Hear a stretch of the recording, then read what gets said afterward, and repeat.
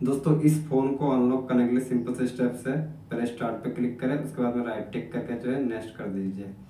जैसे आप नेक्स्ट कर देते हो, यहाँ पे स्क्रिप्ट का ऑप्शन शो हो रहा है स्क्रिप्ट पे हम क्लिक करेंगे। जैसे स्क्रिप्ट पे आप क्लिक करोगे, इस तरह से इंटरव्यू शो होगा चेकिंग फॉर अपडेट थोड़ा सा वेट करना है।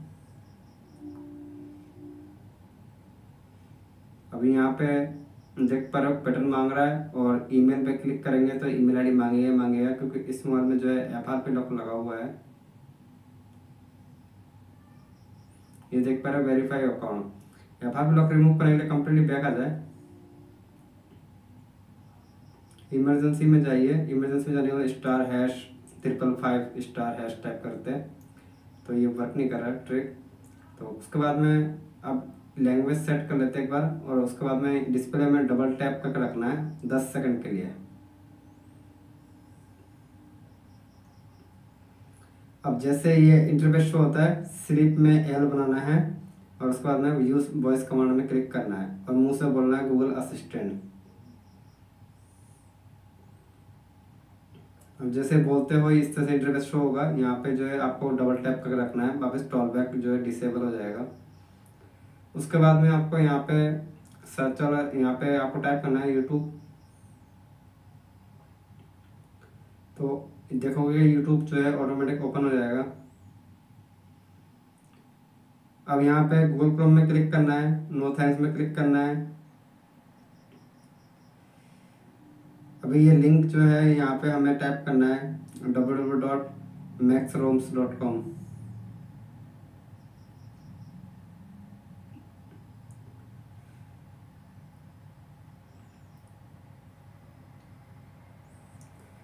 जैसे आप टाइप करते हो, इस साइड के अंदर एंटर हो जाओगे, इसमें क्लिक करना है।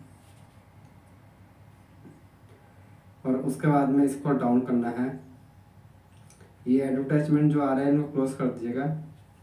हमें सैमसंग गैलेक्सी स्टोर जो है, उसको ओपन करना है।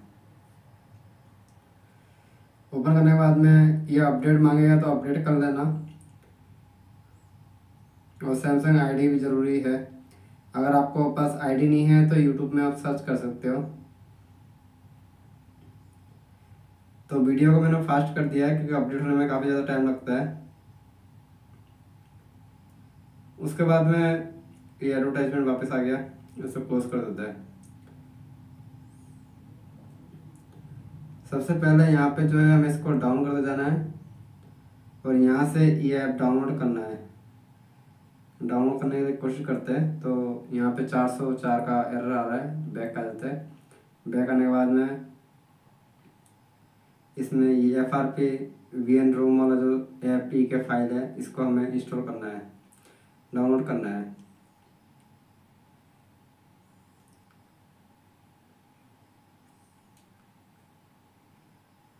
F R P V N ROM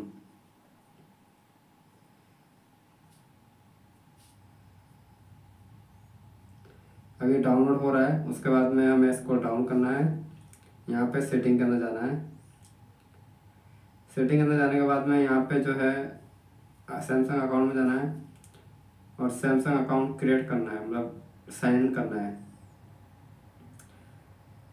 तो मेरे पास पहले सैमसंग अकाउंट है मैंने साइन इन कर लिया। उसके बाद में आपको यहाँ पे बैक आना है। और इसको डाउन करते जाना है। यहाँ पे एसिबिलिटी जो है यहाँ आना है और इस वाले फ़ंक्शन में जाना है। यहाँ पे इसको जो है हमें ऑन करना है। मतलब ये एसिबिलिटी मेनू है। जैसे हम इसको ऑन कर देते हैं एसिबिलिटी शो हो रहा है बैक आना है बैक आ जाना है। यहाँ पे हमें इसमें जाना है अकाउंट में और जो रीसेट वाला जो फ़ंक्शन है डाटा रीसेट इसमें हमें जाना है। और उसके बाद में इसमें क्लिक करना है। तो ये जो ऐप जो है ऐप की वर्किंग वाले रीसेट होंगे। तो ये चीज़ कर लेना।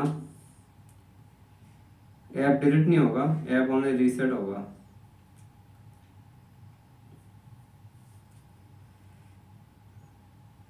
तो जैसे आप ये कर लेते हो, ये कंप्लीट हो जाए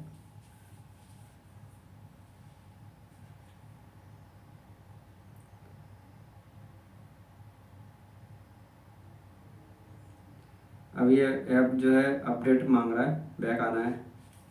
उसके बाद में यहाँ पे गैलेक्सी स्टोर ओपन करना है। गैलेक्सी स्टोर ओपन करने के बाद में यहाँ पे जो है हमें एक A P K file download करना है। ऐप लॉन्चर तो जैसे हम इसको डाउनलोड कर लेते हैं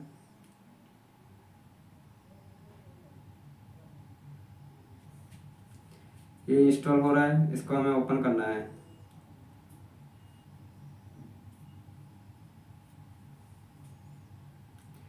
अब जैसे ये ऐप लॉन्चर इंस्टॉल हो जाता है ओपन हो जाता है, इस तरह से इंटरफेस आएगा।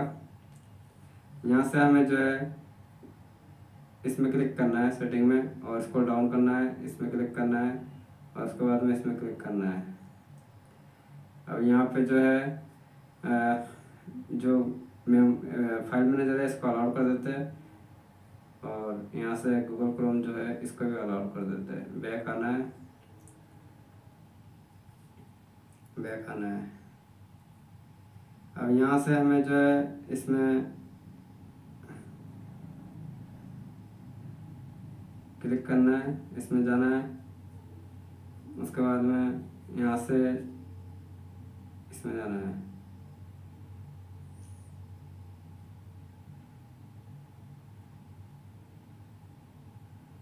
फ़ाइल मैनेजर जो है, इसको इस पर क्लिक कर देते हैं और ऐप जो है, इसको भी अलाउ कर देते हैं। बैक आते हैं। बैक आने के बाद में बैक आते हैं और उसके बाद में इसमें क्लिक करते हैं, इसमें क्लिक करते हैं। ऑल पैकेजेस इसको राइट टिक कर देते हैं। इसमें क्लिक करते हैं।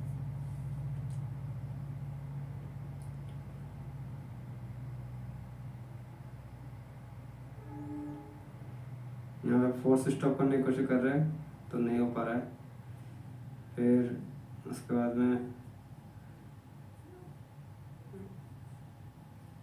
इसको भी देखते हैं, ये भी नहीं हो रहा, बैग आ जाता है। एक्टिविटी लॉन्चर जो है इसको ओपन करते हैं।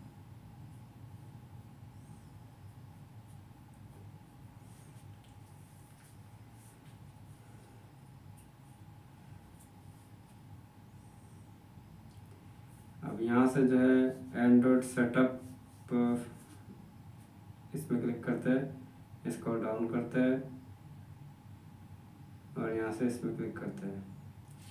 अब यहाँ पे इस तरह से इंटरफेस शो होगा तो हमें इसमें क्लिक करना है यूज़ मोबाइल नेटवर्क पे। और थोड़ा सा वेट करना है।